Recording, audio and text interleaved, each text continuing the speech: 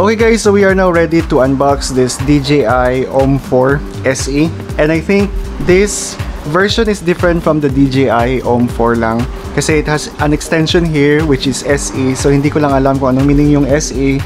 By the way, this is my first time to have a gimbal for smartphone. So therefore, I am not really familiar dun sa mga previous version for uh, DJI gimbal. And basically, this is the color of the gimbal. It is gray. Uh, the purpose of this is for stabilization. So this is uh, smartphone stabilizer. So at the bottom part, meron siyang DJI Care.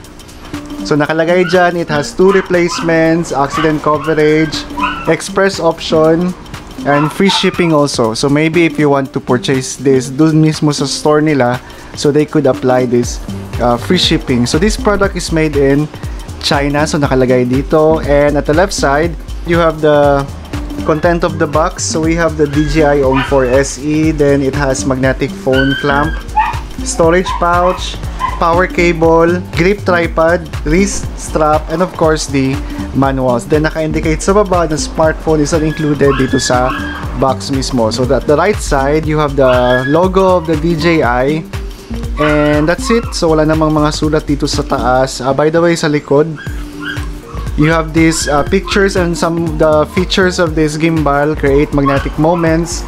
So sa features, it has magnetic quick mount, foldable and portable, active track 3.0, quick roll, gesture control, and a story mode. So by the way, hindi ko ma-compare yung mga old versions ng DJI kasi uh, I think this DJI version na ito is more advanced because it has a magnetic quick mount which is more convenient sa paglagay ng smartphone dun mismo sa gimbal. So I think before they are still using those screw. I think we are now ready to open this box. So once you open this, meron siyang nakalagay na parang box din dito sa taas. So create magnetic moments And dito sa may taas na part, meron lang siyang mga instruction on how to put the clamp dun mismo sa uh, smartphone.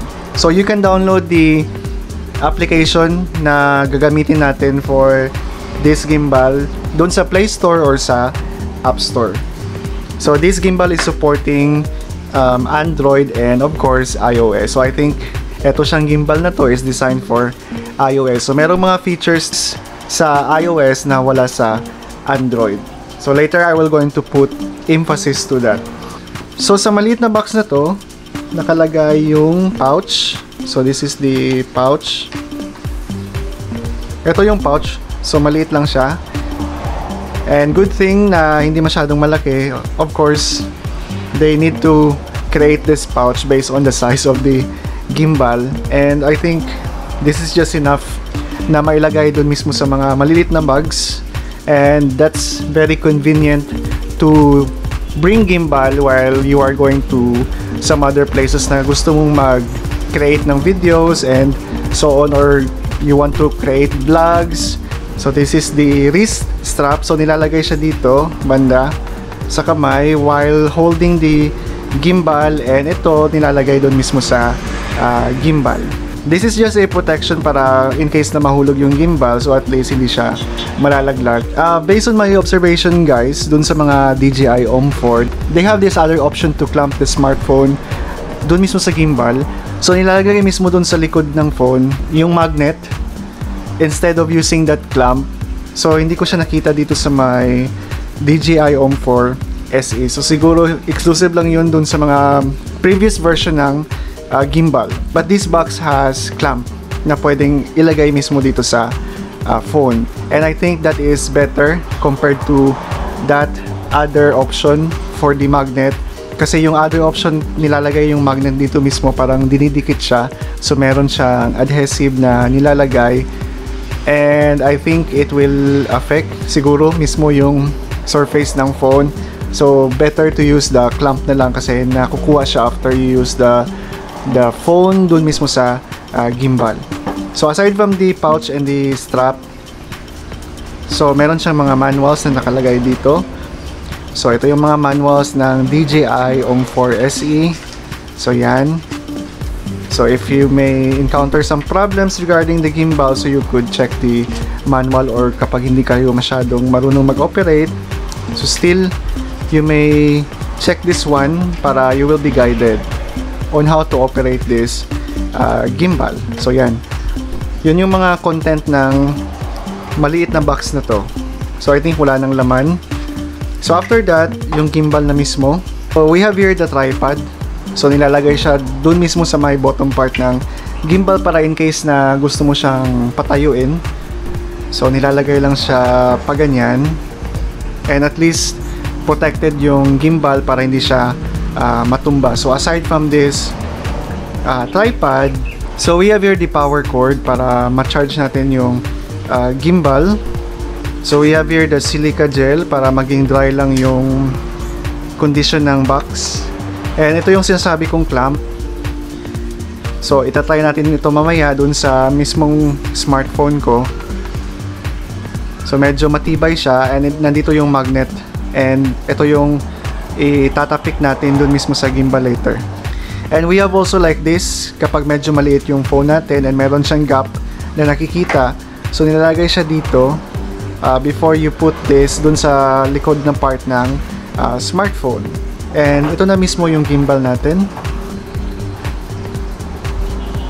So based on my observations, okay naman yung bigat niya and hindi ko siya ma-compare dun sa mga previous version kasi nga uh, this is my first time to buy uh, gimbal. So pinanood ko lang dun sa store kung paano inoperate yung gimbal. So you can just pull this up para magamit natin. So this is how it looked like after pulling up yung portion na nilalagyan ng smartphone. And we are now ready to put the smartphone dito sa uh, gimbal natin. But before that, let's put first the tripod para maipatayo natin ang gimbal later.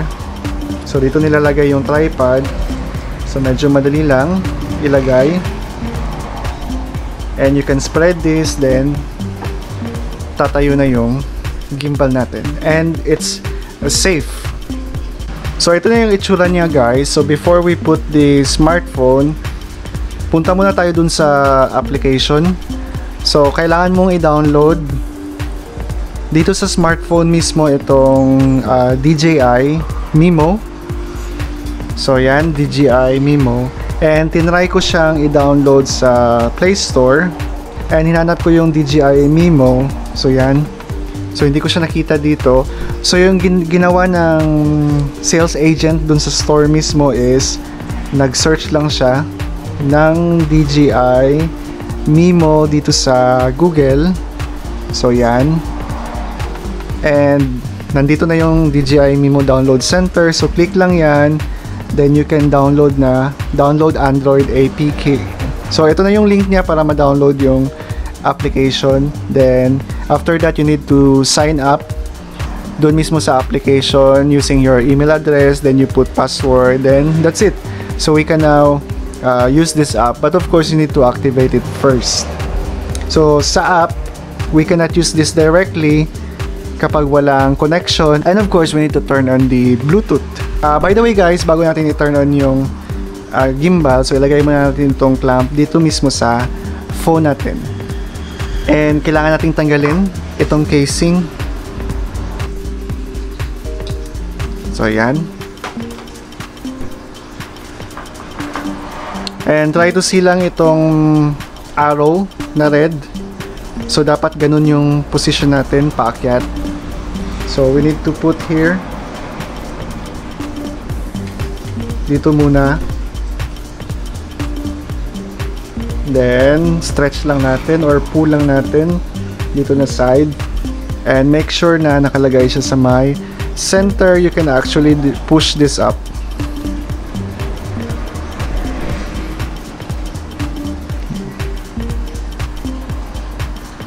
So, yan. So, ito yung nasa likod. Make sure na okay yung placement niya. So the good thing about this gimbal is magnetic siya. So hindi na masyadong mahirap mag-connect ng smartphone dito sa uh, gimbal mismo. So, ito lang yung gagawin natin. Itatap lang natin siya dito mismo sa may circle na to. And, that's it. Tapos na. Para ma-on itong gimbal, so i-press na natin itong power button. Itong may M dito banda. So ito siya, press 1, then kapag umilaw, then another press na long press para ma-fully on natin itong gimbal. Press, umilaw, then isa pang press. So yan. So ito na yung orientation ng phone natin and it is in portrait na orientation. Now since we are doing some uh, videos na ina-upload sa YouTube so dapat naka uh, landscape siya. So in order to do that, we will just going to press this the same button, itong button na M twice. 1 2. So yan. So yan na yung um, orientation natin in landscape and we can now start making some uh, videos. So you have two options in recording some videos. So you can use the DJI na Mimo app or you can just use the camera application na nandun na mismo sa phone natin. Okay guys, so in using the DJI Mimo na app, so we will just turn on. So we can now proceed to the application, the DJI Mimo. So yan. And click lang natin itong icon na to for the camera. So searching. So this one we need to connect. So that's it we are now ready to make videos using this uh, camera from the DJI uh, Mimo. So the disadvantage of this lang kasi since I'm using Android, you cannot select the frames per second. So say for example, the default is 1080p 30 fps. So I cannot change the frames per second to 60 yung pinakarason bakit bumili ko ng gimbal kasi I want 1080p 60 frames per second na resolution while recording video gamit yung smartphone ko na Xiaomi Mi 10T. But in my smartphone, 1080p 60 FPS including the 4K 60 FPS, wala siyang image stabilization or electronic image stabilization. So that's why I decided to buy a gimbal.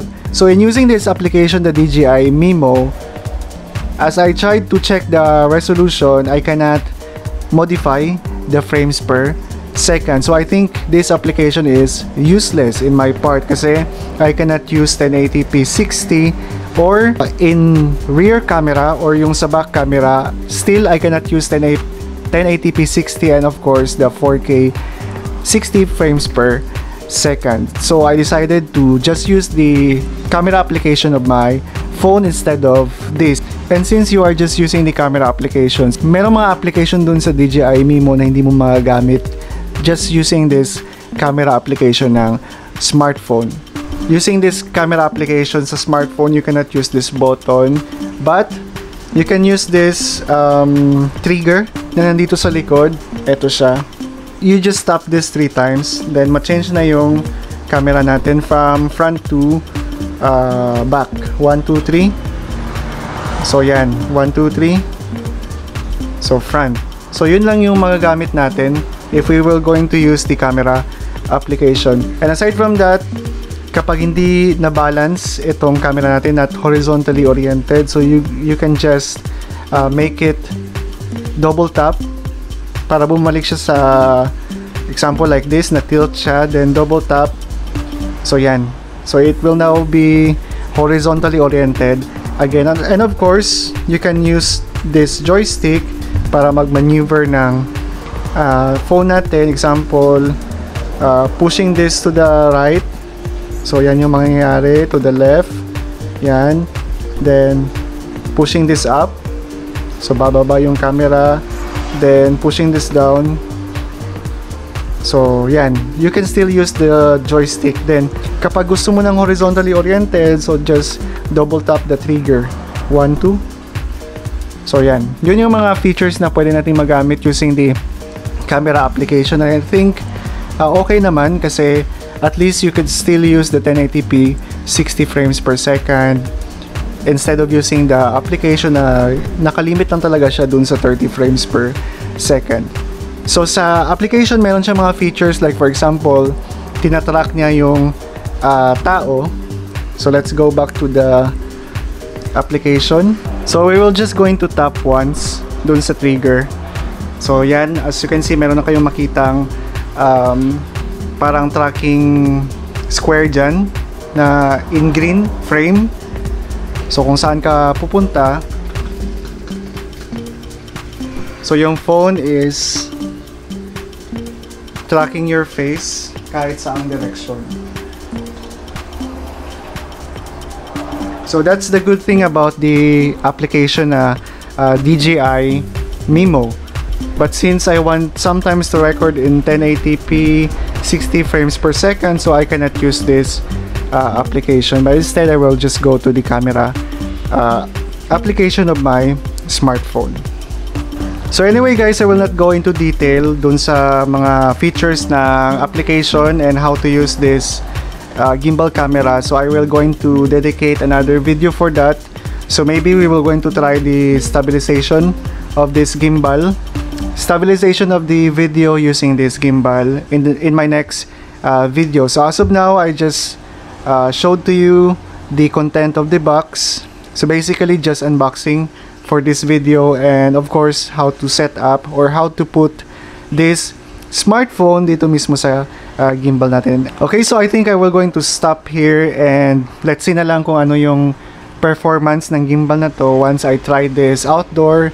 Like uh, example, I want to go to some places na medyo challenging yung road and para matry talaga natin yung capability ng gimbal when it comes to stabilizing a uh, video. So I hope you learned something from this video. If you're new to my channel, please subscribe to my channel. Click the bell button for notification of comments, suggestions, or recommendations. You may write down in the comment section below. Okay guys, so see you in my next video. Bye bye!